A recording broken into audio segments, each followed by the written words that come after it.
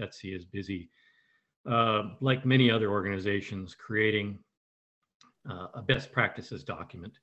And they wanted to include uh, Soho. They're mostly focused on enterprise, but they, I said, that's not where I'm, I'm living these days. I'm living in the Soho market. So, uh, so they said, for sure, create something. So this is a very much a living document. I'm looking for feedback um, today and follow on, and you can reach me at my email there.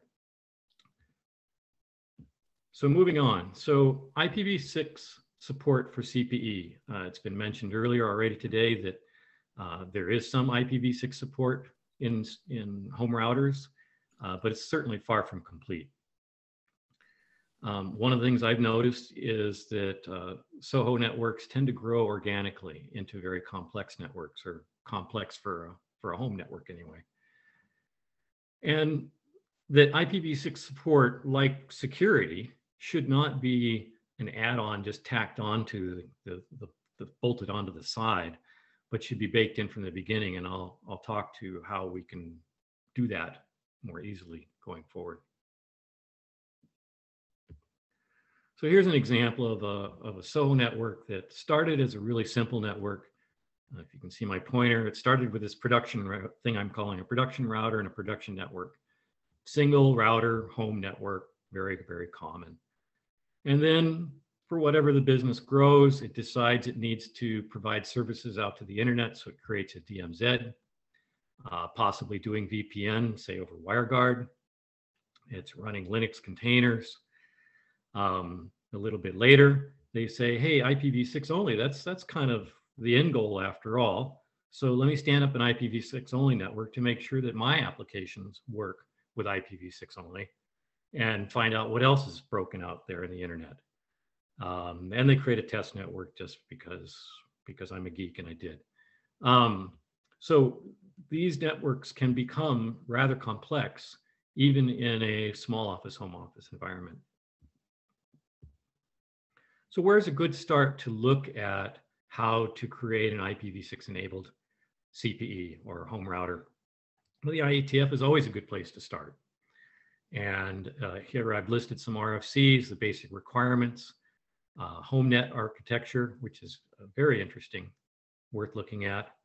Um, the most recent, uh, or a more recent RFC 9099 is operational security cons considerations uh, specifically uh, section 3.8 for general device hardening, and also transition technologies, um, such as uh, MAP-T or MAP-E.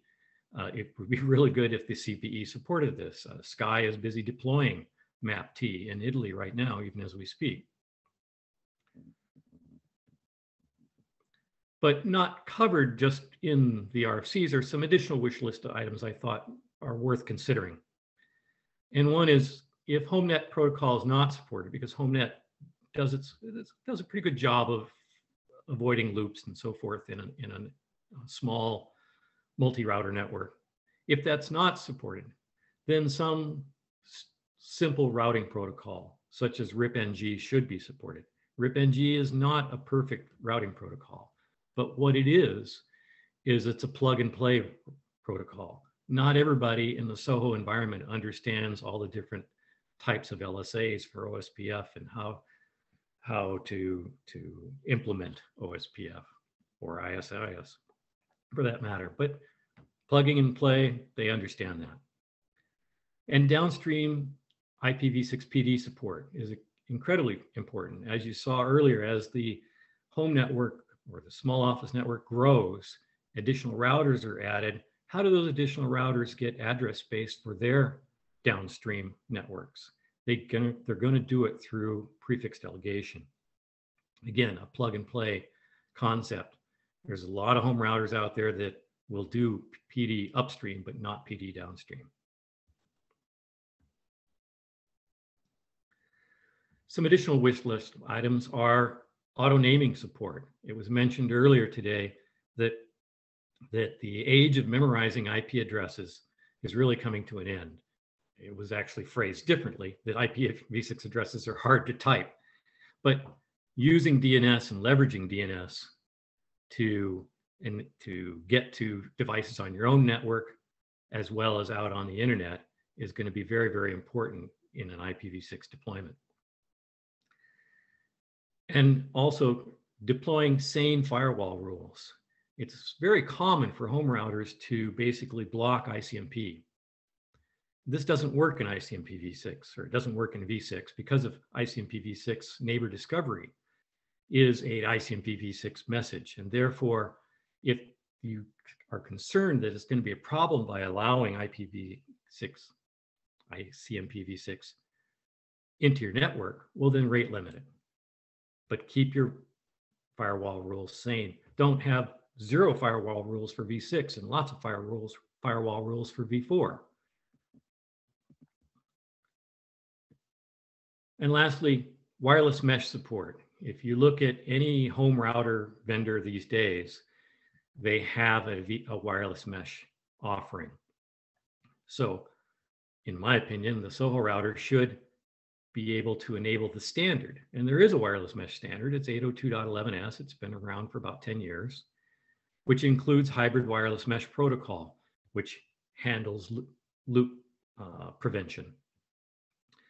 And lastly, Wi-Fi calling.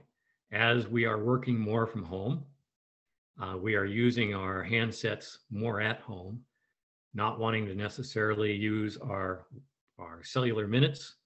And so we can use Wi-Fi calling and the CPE should be able to have default rules that support that. So I mentioned earlier about not being an add-on, but rather baked in um, IPv6 support for CPEs. And a key way to do that is to leverage open source software that's already been written. Yes, it's it's might have a GPL license associated with it, so you might have to publish the GPL code, but it will jumpstart your support of a CPE, IPv6 enabled CPE.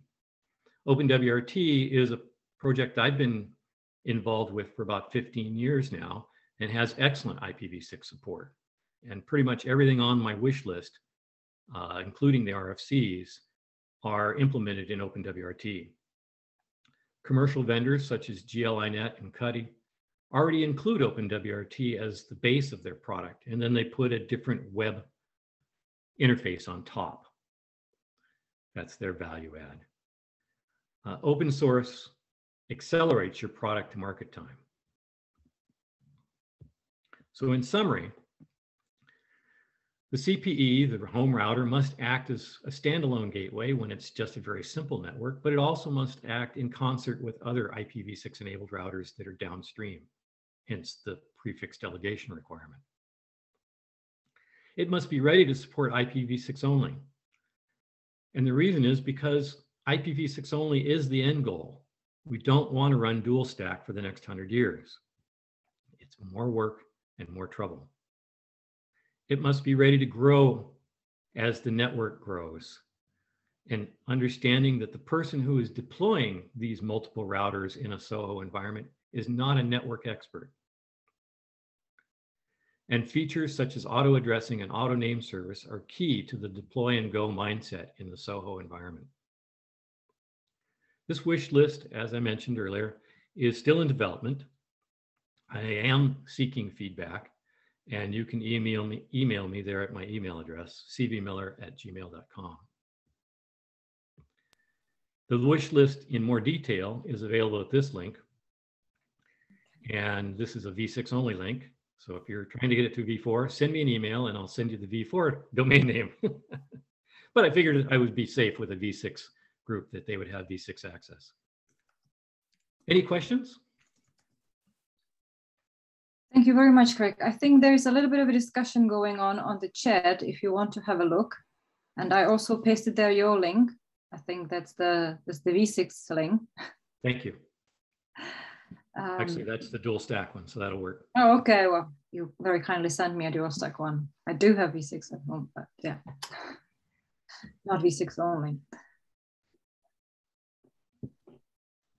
Uh, so I agree that NAT64, uh, DNS64 uh, is also a transition service that that uh, I believe is in the full document, but I didn't uh, highlight in this slide deck. I think Eric, he's uh, Eric Vyncke is asking on the top about MDNS. Bonjour. MDNS is a problem because it doesn't cross routers. MDNS is limited to the broadcast or multicast domain. Um, so MDNS is a great start and should be supported for those simple networks. But as soon as you add your second router, MDNS isn't going to work for uh, across the router boundary.